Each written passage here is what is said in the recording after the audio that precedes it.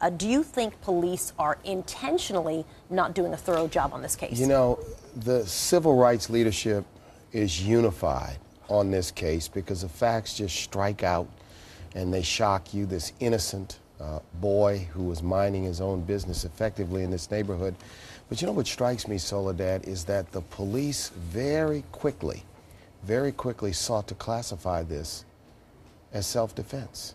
And to me, that violates every established protocol of a clear investigation. So not only uh, are we saying investigate and bring, uh, bring justice for Trayvon Martin, ensure that there's justice for Trayvon Martin, and bring George Zimmerman, uh, charges against George Zimmerman, I also say that the actions of the police department need to be, need to be carefully examined by the Justice Department. The police department have said uh, a lot of the reasons that they have not arrested George Zimmerman is that uh, because of the stand your ground law.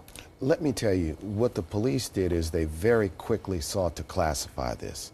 They didn't do what police are expected to do in cases like this, which is to say, we reserve judgment until such time as there can be a complete and thorough investigation by our department, by the grand jury, uh, and, and let the process go forward. But for, uh, I think, the actions of uh, civil rights organizations and the media shedding light on this case.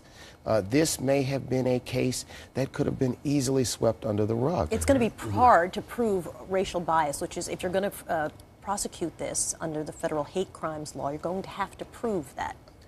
That's this. But uh, why would I don't think it would be hard to prove that at all. In fact, I think the language that Mr. Zimmerman uses at 152 in the recording pretty much falls under the guidance of our hate crimes laws. This is the one. This is the, the two words he uses. Right. So there is. Uh, let's play a little bit of this recording, mm-hmm. and of course, we're not going to be able to play uh, the part of the recording mm-hmm. where he sort of breaks into a whisper, and that's really what people have been talking about. So I want to play a little bit of his earlier call to 911. Mm-hmm.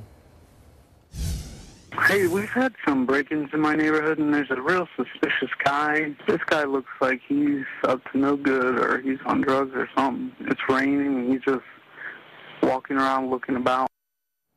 So then, further on in this 911 call, uh, at 2 minutes and 21 seconds, he curses and says a racial slur. And it's uh, whispered, it's hard to hear, uh, but I, I could hear it pretty clearly this, when know, I listened to it on the recording. I think people, the hate crime aspect of it is important, but you have a basic fundamental murder which uh, may have taken place. And I'm saying may because I don't want to preempt the authorities.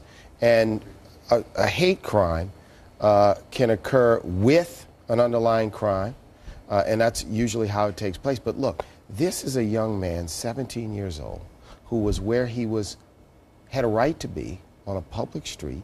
Uh, and I am so, so uh, shocked at what's coming out about this uh, alleged neighborhood captain. You know, we had a neighborhood captain program that was very, neighborhood watch program was highly successful uh, when I was mayor of New Orleans. And everything he did beyond making a call violated established mm-hmm. protocol for a neighborhood watch program.